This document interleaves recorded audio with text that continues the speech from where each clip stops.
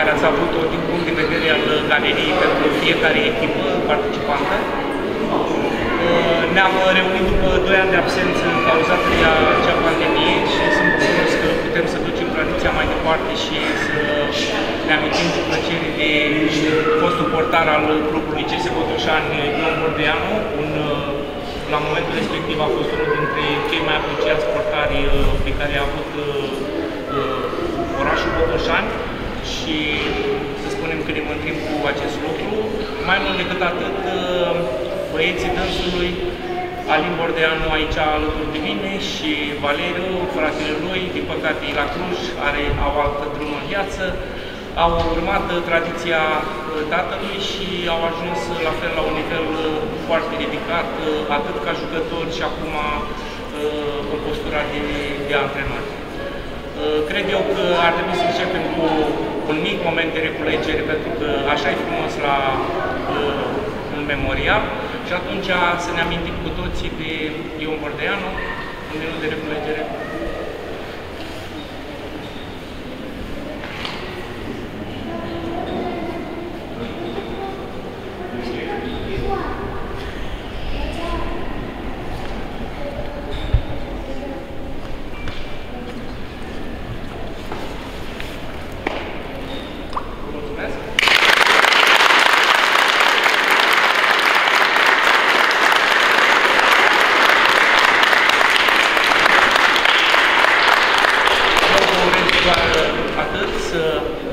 Încercați să perseverați, va fi o muncă titanică. Am să las pe Alin și îl avem alături de noi și pe uh, un jucător de acum emblematic pentru FC Botoșan, Victor Bican, care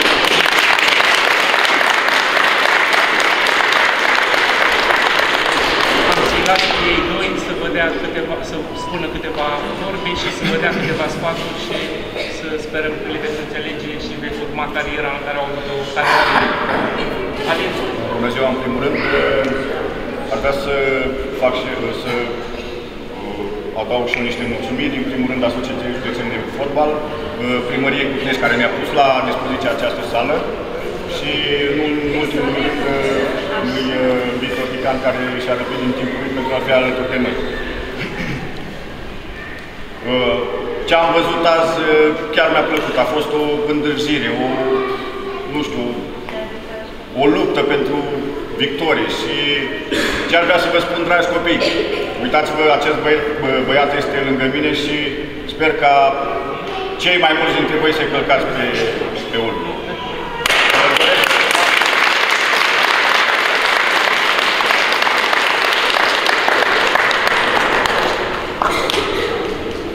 Bună ziua, în primul rând. Vreau și eu să mulțumesc tuturor care, celor care s-au ocupat de organizare. Vreau să felicit toate echipele. Am luat și o parte la ultimul meci și pot să zic că chiar mi-a plăcut ce am văzut. Îmi aduc aminte și eu când eram de vârsta voastră, pot să vă spun că e una dintre cele mai frumoase perioade. Uh, singurul sfat pe care pot să vă dau e să vă bucurați de fotbal și să jucați mai cu sâmbătă pe urmă. Că după aia vine munca și altele mai grele, dar momentan bucurați-vă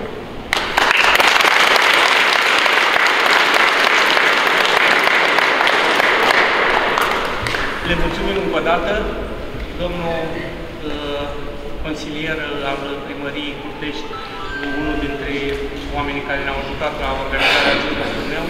Dacă vreți dumneavoastră să le spuneți două vorbe. Mulțumesc în primul rând că ne-ați onorat această sală și ne-ați dat ocazia să ținem acest deja numesc eu prestigios trofeu de copii juniori. Ion Bordeanu, ne dorim la cât mai multe ediții, poate și alte victorii ale fotbalului din Motoșneam încă imaginate, dar vrem foarte mult că sunteți aici. Vă urat și baniștii interiori să perseverați, să fiți la fel de buni și să-i depășiți.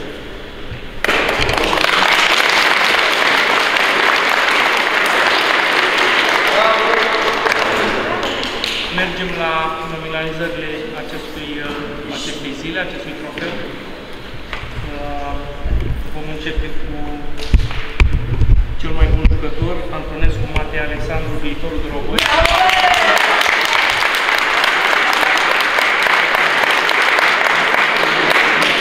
Da, sunt depășești. Da? Bravo!